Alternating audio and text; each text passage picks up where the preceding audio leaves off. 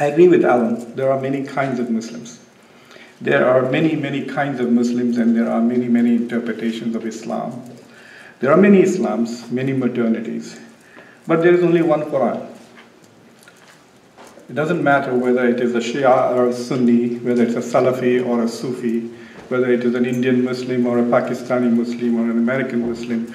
We all are reading the same Quran. We may read different things in the Quran, but we are reading the same text.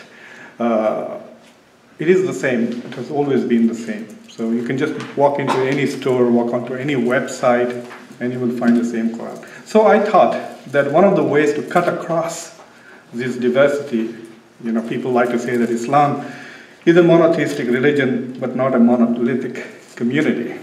So yes, but so I thought, why not start with the Quran? So I'm trying to do something very difficult today. I'm going to try and explain to you or provide one explanation of Islam based on only two verses of the Quran. And I have shared those with you on the flyer. They are 190, 191st verses from the third chapter of the Quran the third chapter is called Al Imran or the family of Jesus.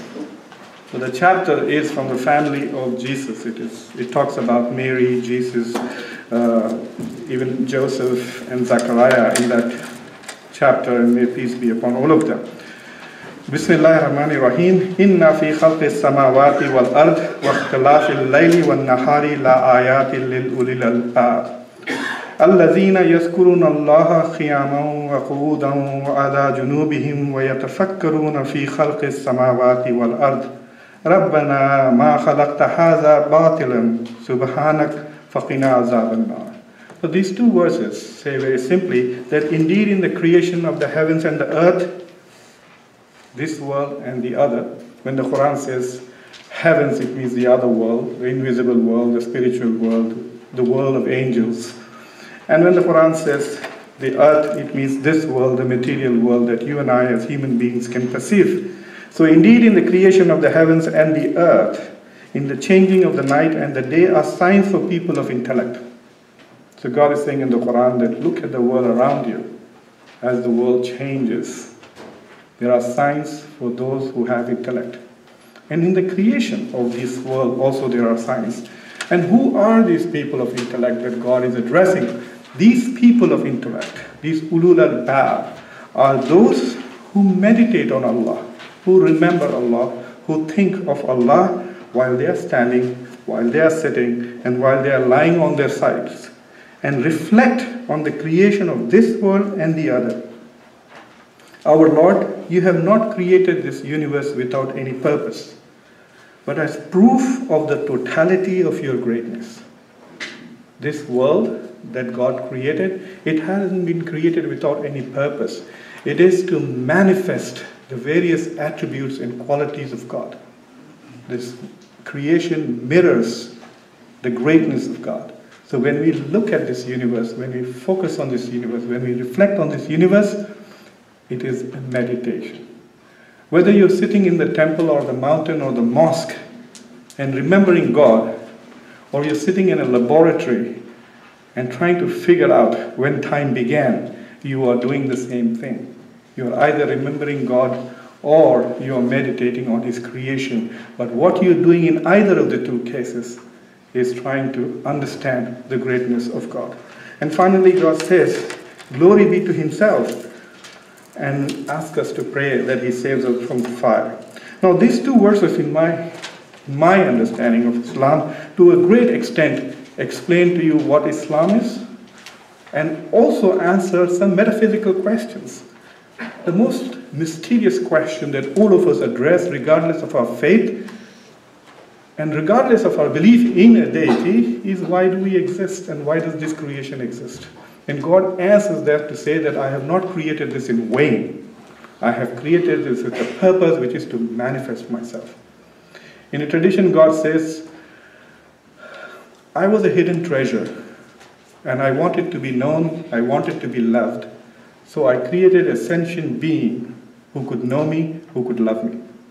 In one tradition, he establishes the purpose of existence, which is self discovery of God, his manifestation of his divinity.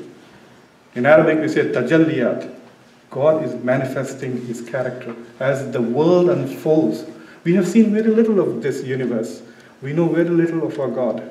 The more we understand this universe, the more we will know God. And that is the purpose of this creation that God is saying. But He has created us. So God wants to see this universe through our eyes. He sees Himself through us. And He loves us so that we love Him. And that is the purpose of this creation. So, as a Muslim, when I read these verses, I realize that the spectrum of diversity in Islam moves from the heart to the mind. That is it. These are the boundaries of Islam. And all Muslims fall between that. At one extreme, you are a Sufi who has submitted his entire heart to God. And all you do is whether you're sitting, whether you're standing, whether you're lying down, whether you're awake or whether you're sleeping, you pray. I know some Muslim colleagues who, even in their sleep, they pray because they dream of praying. They actually dream that they are praying. And these are not scholars or ordinary people who have shared it with me. So they are, when they are conscious, they are praying. When they are unconscious, they are praying. So at one extreme, we have the heart connected, contemplating upon God. So all the mystical traditions of Islam head in that direction. The sole purpose of existence is to connect with God before you connect with God. That is, you die before you die. To, to find decisive evidence of God's existence and make that connection with God while you're alive. That is the pursuit of mysticism. And that is what it's about the heart. Yazkurun Allah, those who remember Allah while standing, while sitting, while sleeping, all the time. If you, if you, it's like being in love. Imagine one of my students just falls in love. You think he or she is going to listen to my lectures. They're sitting there in the class, but their heart is with their beloved. They're dreaming of their beloved. They're thinking of what she said, he said, what am I going to say? It's like that. They're completely lost. When I had my son, I have one son, I was walking around on campus as a grad student looking foolish with a smile on my face because I was constantly thinking of him. And several people stopped me and said, So you are in love? I said, Yeah, but you're getting it wrong. so, so a mystic is like that, constantly remembering God. At the other end of the spectrum, you have the philosopher, the scientist, who wants to know God, who is thinking constantly about God. His connection with God is not through the heart, but his connection with God is through his mind. In Arabic, they are called arifin, those who know a Pakistani poet, a very famous poet called Iqbal said, खुदी को कर बुलंद इतना कि हर तकदीर से पहले खुदा खुद बंदे से पूछे कि बता तेरी रजा क्या है This is an Urdu poem. He says that elevate yourself so high that God, even before He writes His destiny, He asks you, What should I write? What do you want the future to be? But what Iqbal is telling is this that the power of the mind, the believer of the mind, has made him a confidant of God. So he's so close to God and his connection is so intellectual that God is willing to share his secrets with his believer. So, whatever kind of Muslim you are, you fall in this spectrum. Either you are the beloved of God or you are the seeker of God's secrets. There are many books in Islamic tradition called Sir al-Asrar, Secret of Secrets, as if these guys have shared some of them. But when you read the book, and if you have the heart of the believer, you will see their secrets in the secrets. And sometimes have, my mind was blown when I read some of these books, and I said, wow, I would never have thought of this. Surely God is sharing with us. It's like Newton figuring out gravity. We all experienced gravity before Newton, but he, it's with him that God decided to share that important secret. So that is what the diversity of Islam is. Now, if you look at these verses of the Quran, I'm sure a lot of Muslims have read them, understood them quite differently.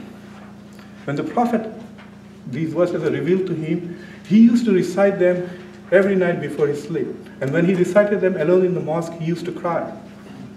Because he understood what they meant, that I can approach my Lord in many ways. One path starts from the heart and one path starts from the mind. Now there are two kinds of people. Those who belong to time and those to whom time belongs. Let me repeat that. there are two kinds of people. Those who belong to time, time owns them, and then there are those to whom time belongs. So for example, we are all modern people. We belong to modern age. Some of us are postmodern. The postmodern era is about to dawn. Some of us mentally are medieval. Have you followed the presidential debates? right? The past still owns them, right? So you belong to a time. So you manifest certain intellectual characteristics, some value preferences that belong to a historical period in time. So we say we belong to that time. And then there are other ways of talking about time, like saying, in the time of Prophet Muhammad. Now suddenly you see Muhammad owns the time. So right now we are living in the age of the Ummah of Prophet Muhammad. Muhammad owns time now. Even though, and everybody writes, it's Jesus Christ who owns the time, right? 2016 is what? it's the time is from the time that Jesus died. So in that sense, but a simpler way of understanding this distinction that I'm trying to make is to look at it from the perspective of nature and nurture. Are we capable of transforming our social context or are we determined by our social context? It's like saying, is it necessary that if I make less than $40,000, I will vote Democratic, and if I make more than 4 million, I will vote Republican? Or is it possible that I might be a billionaire, but I might still have a heart and want to do something for the poor people? May want to see that everybody has health. Are we able, the question really is, can we transcend our material and socio-economic conditions? Marx said we could not. He said it very profoundly. He said it is our it's our material conditions that shape our political consciousness, and it's not that our political consciousness shapes our material conditions. That Marxism is all about that we are determined by the time we live in. But then others believe that no, we can shape it. That's why we have prophets, etc., who can come and transform societies. So why am I getting into this philosophical argument? I believe that most people are children of their time. And most people are produced by the social structure, the political structure, the economic structure that they're born in. So when you look at Muslims, whether they are living today in Syria and Iraq, or whether they are living in Washington, D.C., or they are living on the West Coast, you cannot expect them to be identical. How can somebody who's driving home in a Jaguar and is suddenly thrilled that the stock market is going up again and this today I made $60,000 because it's gone up by one point. How can that person's consciousness, that person's political choices be the same as someone who went out looking for bread and came back and did not find his or her house? All his children are dead. Somebody blew it up. How can you expect that individual to have the same ethical and moral standard as somebody who's living a comfortable life? So in many ways, when you see these different manifestations of Islam and Muslims, when people read the same verse of the Quran and one says this authorizes me, in fact demands that I kill all those who disagree with me, and another person reads the same verse and says, what this tells me is that I have to sacrifice myself in order to transcend myself. You understand? You have to kill your identity in order to transcend yourself to become one with God. So in the same verses, people can read. So when we look at the Muslim world and we look at different manifestations of Islam, you must realize that it is not by choice that they become who they are. Nobody gets up in the morning and says, I want to grow up and become a terrorist. That is not an option, that is not their choice, there is not a desire. What every Muslim thinks is that I want to do what I can do to come as close to God as possible. Now, it's the path they choose is the path that their social political context provides. So So when we want to have a socio-political impact on Muslims who choose violence as an option, we have to ensure that we change the context in which they live. If people are choosing violence because they face violence, throwing more violence at them is not the solution. This is very important. We never ask these questions about ourselves. We are far more violent than any part of the Muslim world. Shooting in Columbus the day before yesterday, in Kansas today, and so on and so forth. We are so used to it that it doesn't even affect us. It has no impact on public policy, it has no impact on electoral, nothing. Extensive daily violence. It's like if we called it terrorism, then we would be having more terrorism than even Iraq and Syria. In fact, did you know that infants below the age of five kill more people than all Muslim terrorists combined in the world? Go back and look at the data of how many people, young children, have killed because there are guns in their houses, mostly accidentally, but killed nevertheless. It's just the classification which makes us look like a moral society and others as an immoral society. So finally, what do we do? There are two things to do. Do we look at this as a geopolitical thing and blame Islam for the geopolitical context out there? Every policy that begins with that premise, I guarantee you, will fail because it will not address the reasons why there is that violence. But if we ask ourselves, why is there violence? And we begin from that question, then I think we will be able to find answers. We will not like some of those answers. Because we are going to find the culpability of our own policies in that. So let me tell you that there are a wide range of Muslims. There are Muslims who have given you the divine poetry of Rumi with which we started the forum today. They have given you Taj Mahal. The reason why Muslims are able to do that is because when they read their Quran, they are able to absorb the eternal beauty in it, and these are pathetic attempts to manifest that. Thank you.